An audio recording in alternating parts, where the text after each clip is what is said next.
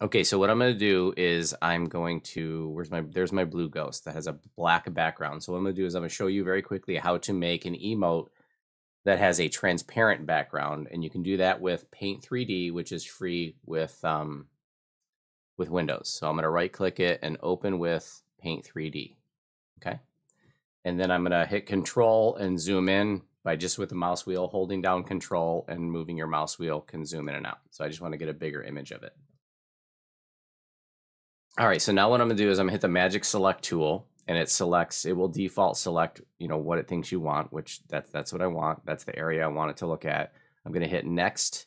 Now it's automatically outlining what it thinks that I want. But if there was more there, then I would just need to click it. So let's say I wanted some black in there, I would just click that to make it bigger to, you know, maybe I wanted some black background and or a black outline or something. Okay, so you can just click on. Let me um, undo all of this because I don't want that. So I'm hitting Control Z to undo all of it. Okay, so it's highlighting the ghost. That's what I want. So now I'm going to hit done, and now it pops out the ghost. Boom. Now I'm going to move the ghost to the side. The thing I don't like about it is when it does it, it kind of animates it and makes it bigger. So now it's literally bigger than the box so it doesn't line up perfectly anymore. I find that kind of irritating. In any event, so I'm going to pull the ghost to the side. Now I'm going to highlight the background and just hit the delete key. That deletes the background. Now I'm going to hit my canvas button up here and turn on transparent canvas.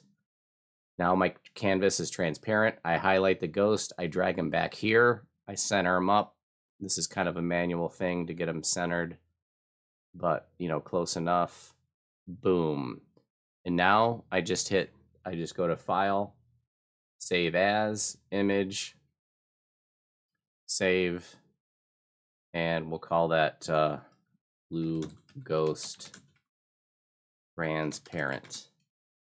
Boom. Now I have a transparent blue ghost right there. And now I just need to load it up into Twitch.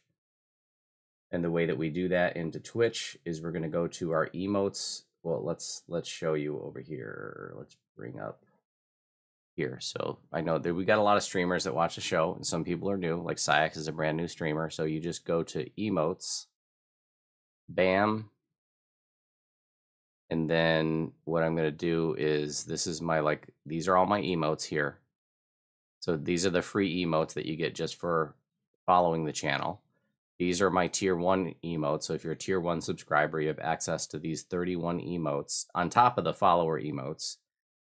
And then you also have access to five animated emotes. If you're a tier two subscriber, you get these emotes. And if you're a tier three subscriber, you get these emotes as well as the modifiers. So our blue ghost is a tier one emote. I'm going to get rid of it, remove from slot, and I'm going to go ahead and delete it because I don't want it anymore. Now I'm going to hit the one open slot that I have and I'm going to click that and we're going to go into emotes and there's my blue transparent ghost.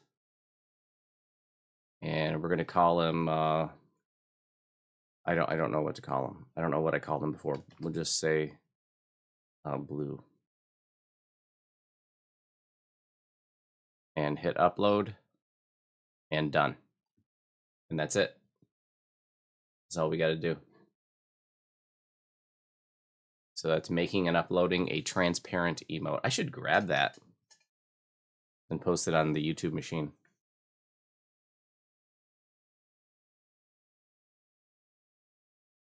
Sometimes it doesn't show up right away. It seems to take Twitch a few minutes to actually recognize it.